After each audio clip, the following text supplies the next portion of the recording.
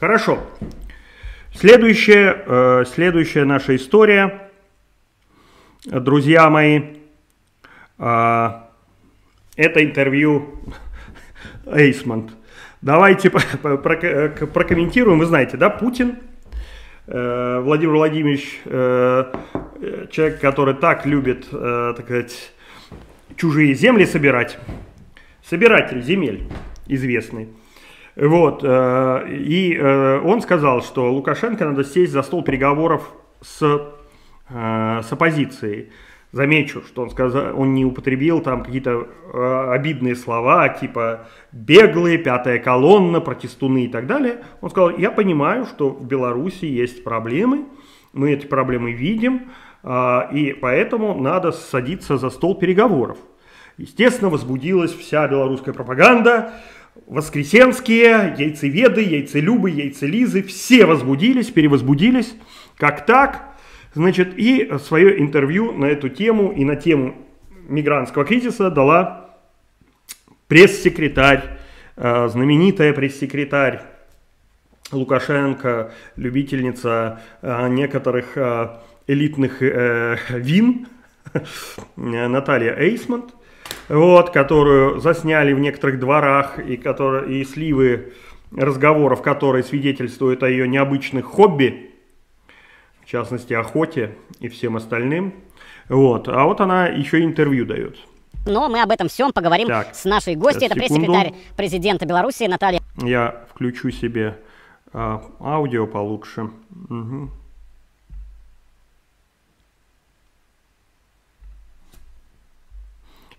И предлагаю посмотреть. Эйсмонт, Наталья Николаевна, добрый вечер, я очень рад вас слышать. Добрый вечер, Игорь. Взаимно добрый вечер всем нашим зрителям. Давайте разговаривать. Ага, какая добрая, вот добрая, чтобы она осенью была такой доброй, да? И во дворе, э, где Роман Бондаренко жил, вот чтобы она такая добрая была. А так, э, добрейший человек, смотрите. Вот. Так, дальше идем.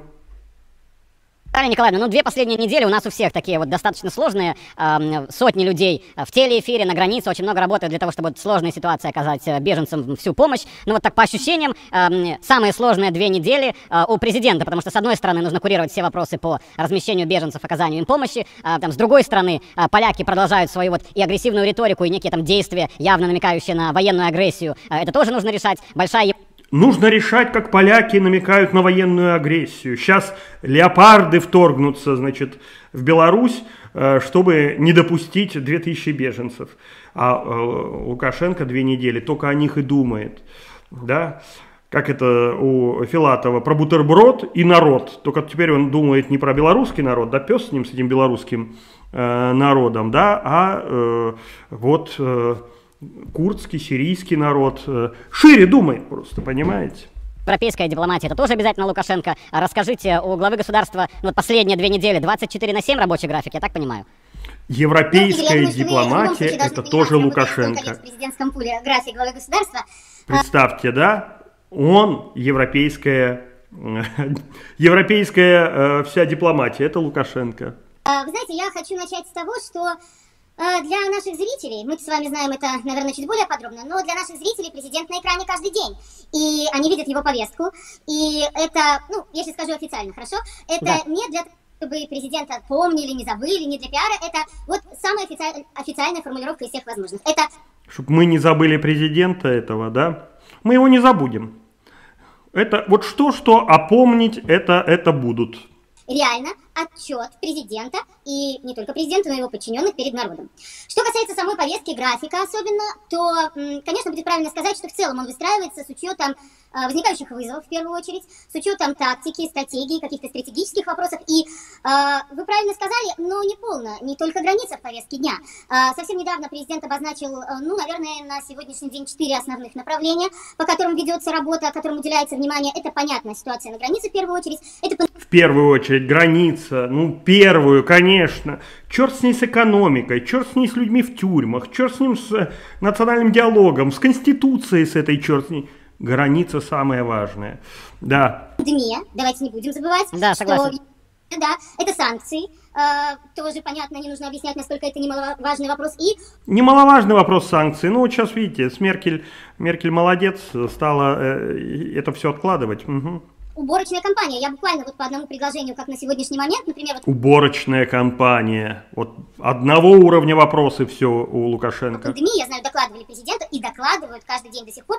Мы уже имеем на сегодняшний день чуть более 50% от пика. Давайте об этом говорить. И не забыв... 50% от пика? От пика 50% у них э, по коронавирусу. Все, победила Беларусь коронавирус. Самой низкой вакцинацией, отсутствием масок – да, необязательным ношением масок, э, массовыми мероприятиями победили коронавирус. Первая страна в мире, которая такими методами побеждает об этом на фоне э, ну, проблем на границе. Э, больницы выводятся, чистятся. Э, ну, что касается уборочной кампании, понятно, она завершена, накормим наших людей, продадим на 6 миллиардов долларов. Санкции э, по этой теме тоже. Что? Что там на 6 миллиардов долларов? Санкции. Работа ведется каждый день, каждый день, и президентом, и правительством очень много этому внимания помогает нашим предприятиям.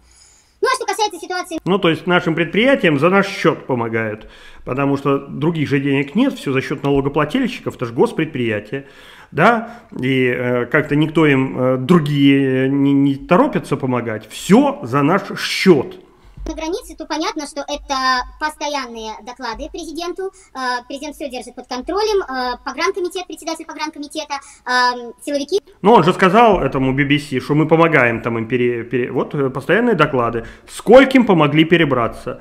20, ну их вернули, тогда надо на тот участок границы, он же пограничник, он знает, где, где дырки, да, и постоянно они сидят там, как их, как их запустить в Польшу, как их запустить э, в Литву и Латвию. Надо найти дыры, дайте им кусачки, дайте им, э, что там еще, гранаты светошумовые. Ну, все понятно, правильно. Вашим ощущениям, как э, Александр Григорьевич отреагировал вот на, э, на предложение Меркель пообщаться все-таки по телефону, и по вашим... Он кричал, ура, ура, yes, yes, yes, дайте мигрантам шаурмы, yes, они молодцы. Ощущением, есть ли компромисс между президентом Беларуси и врио канцлера Германии? А, ну, вы знаете, а, что касается организации этих телефонных звонков, я а, процитирую президента, он вчера рассказывал об этом представителям BBC, они также спрашивали, их интересовали ли, понятно, эти телефонные звонки. Вы... Ну, их еще Окрестина интересовал, он сказал, да, там били всех, да. Помните, что разговорам, двум разговорам с нашим президентом предшествовали разговоры канцлера Германии с президентом Российской Федерации. И тогда Владимир Владимирович Путин абсолютно четко дал понять, что разговаривать нужно с Минском. В Минске находятся эти люди, которые пришли к границам Евросоюза, которых туда позвали, и разговаривать да-да-да, их позвали. Вот только никто не может предъявить, где, где приглашение, кто позвал, да. Ну, такая, это любимая ложь белорусской пропаганды, что кто-то кого-то звал, и э, вообще, э, что кто, кто-то кого-то вообще должен звать. Люди, если едут куда-то, они едут по своему собственному решению. Их могут позвать только родственники их, да, и друзья, а больше никто кто звал, где звал, кого звал. Ну, чистой воды такая, конечно, манипуляция. Э, ну а то, что Путин, э, да, это любимый его метод, что все звонят ему, типа, Володя, ты там как-то, ну, у тебя там эти неадекваты все, помоги. Вот, а он говорит, нет, вы должны разговаривать с Луганском, с Лугандоном. А нет, вы должны разговаривать с ДНР, с этими, да, полевыми командирами. А вот у нас еще один такой, типа, Лугандонный ДНР образовался, да, в Минске. Вы должны с ним разговаривать. Давайте, давайте, давайте. Вот. Э, вам же надо решить ваш вопрос. Нужно с Лукашенко, который действительно держит всю эту ситуацию под контролем, знает ее, и с ним нужно решать с э, Евросоюзом, с Беларусью все эти вопросы. Ну, то есть он организатор, она честно говорит. Он организатор всей этой ситуации, он ее держит под контролем. Он э, организовал именно на территории Беларуси всю эту э, историю, да. Вы знаете, ну, э, я абсолютно уверена, что отношения к этой ситуации э, существуют абсолютно разные. И э, в отличие от польских политиков, я уверена, что в Европейском Союзе есть огромное количество людей, которые так же, как и мы, не могут смотреть вот в эти детские глаза. Вот эти детские глаза не могут смотреть. Ну, в детские глаза никто не может смотреть. Детей, которые мерзли, полуголодными сидели. Ну, сейчас чуть лучше, лучше условия на границе. Ну, мерзли, потому что их не разместила белорусская сторона никуда. Поэтому они мерзли. А вообще э, должна была разместить нормально людей там в профилактории, в санатории, и не мерзли бы, и глаза были детские бы, не, не в слезах. И абсолютно уверена, Вот что цинизм. отношение к этому, ну, во многом идентичное. Политика – дело другое. Вы сейчас задаете мне, Игорь, вопрос про политический диалог, ведь в первую очередь. Конечно. Я хочу сказать, что Конечно. Э, ну, не мое дело говорить, является ли то, что сейчас происходит, э, политическим диалогом. Это дело, в первую очередь, главы государства, это дело наших дипломатов, Министерства иностранных дел. Э, идет Мое дело по вечерам по улицам ходить с некоторыми там нашими этими и чем заниматься? Тем, чем мы осенью занимались. Охотой. Охотой на людей. Вот. Вот это мое дело. А это диалог какой-то политический. Разве это мое дело? Нет. работа. Ну как? Пытаемся организовать работу над, над разрешением этого кризиса. Может быть, это является... Да, мы видим, э, как пытаются организовать работу над разрешением кризиса. Э, Невероятно, да, э, эти э, кусачки давая, светошумовые гранаты, измываясь над людьми. Это- частью этого диалога. Может быть, нет. Это решать не нам. Расхожая фраза «мяч на их стороне». Я недавно отвечала российским журналистам, где-то с неделю назад, когда они про этот диалог у меня спрашивали. Могу только подтвердить. Мы никогда не отказывались, не отказываемся и не будем отказываться от диалога. Не мы его разрушали. И я Не они разрушали диалог. Они вообще диалог не разрушали. Как он сказал, э, да, генерал-губернатор наш, сказал, мы вырежем всех, кто с нами не согласен. Но диалог они не разрушали. Просто вырезают всех. Да, он именно это слово употребил, которое, ну там, ИГИЛ любит употреблять, там, э, кадыровцы, не знаю, какие-то такие вот люди. Вырежем всех, кого вы финансируете. Это он диалог не разрушает? Конечно, нет. думаю, что вы прекрасно знаете, работая столько лет главой государства, что он готов говорить с любым человеком. Ну, к слову, даже и вот э, Только в СИЗО. Когда человек сидит в СИЗО, он готов поговорить с любым человеком. А когда на свободе, что-то не очень готов говорить с любым человеком, так пусть со Светланой Тихановской поговорит. Если он готов говорить с любым человеком. В чем проблема? интервью западным журналистам это подтверждает. Поэтому поживем увидим по поводу диалога, а сейчас бы с тем, что имеем разобраться. Но мы с вами, Наталья Николаевна, знакомы достаточно давно, то есть я ваш ответ понял, спасибо, что ответили, может быть, даже где-то под текстами. Но вот по поводу общения а, со всеми, Под текстами. У нее подтексты есть.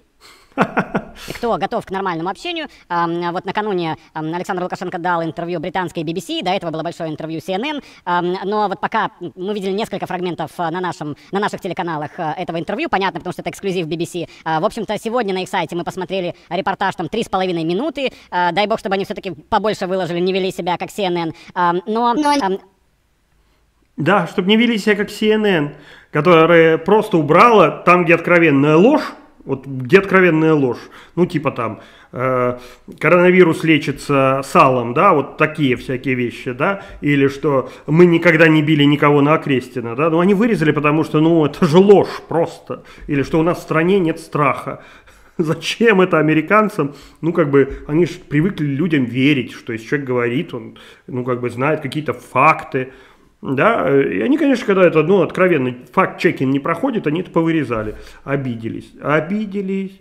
Наталья Николаевна, на падающем флажке не могу не задать вопрос. Мы с разных сторон и разного уровня слышим порой вот э, а, некие призывы к диалогу между официальным Минском, ну и всегда это имеется в виду, конечно, Александр Лукашенко, и, значит, там, белорусской оппозицией. Вот на мой взгляд, да, вот действительно, как человека, который много лет работает с президентом, Александр Лукашенко готов говорить а, конструктивно с кем угодно. Журналисты, политики, оппозиция, совершенно ну, все неважно, если мысли здравые.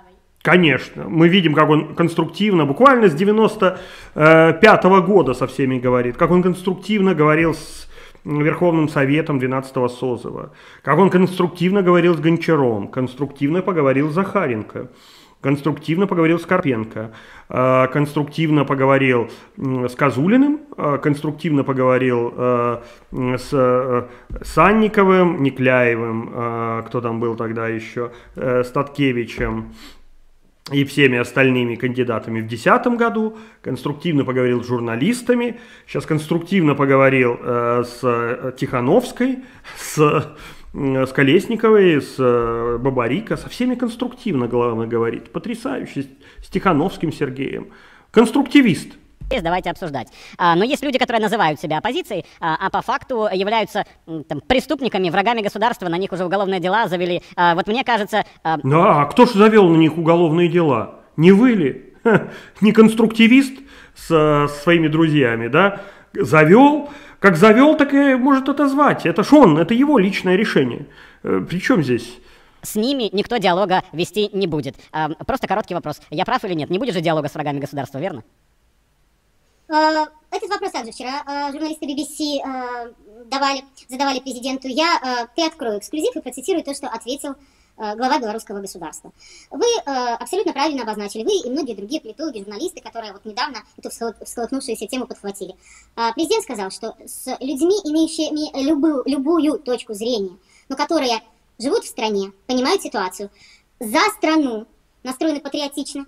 Так, еще раз люди, имеющие любую точку зрения, но живут в стране, за страну, настроены патриотично. Пока подходит один человек, э, Юрий Воскресенский под это, как вам кажется? Или кто-то еще подходит?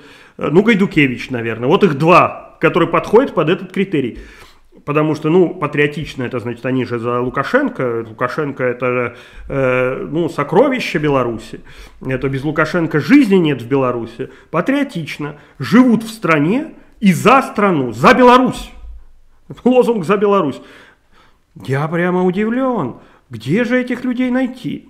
Ну, э, в принципе, э, можно выпустить из тюрем, если они хотят. Э, Мы будем разговаривать. Да. С любой оппозицией, с предателями нет. Да. Так вот, если они, э, у них критерий, хорошо, если объективно смотреть, критерий живут в стране, ну, те, кто находится в тюрьмах, они живут в стране, да?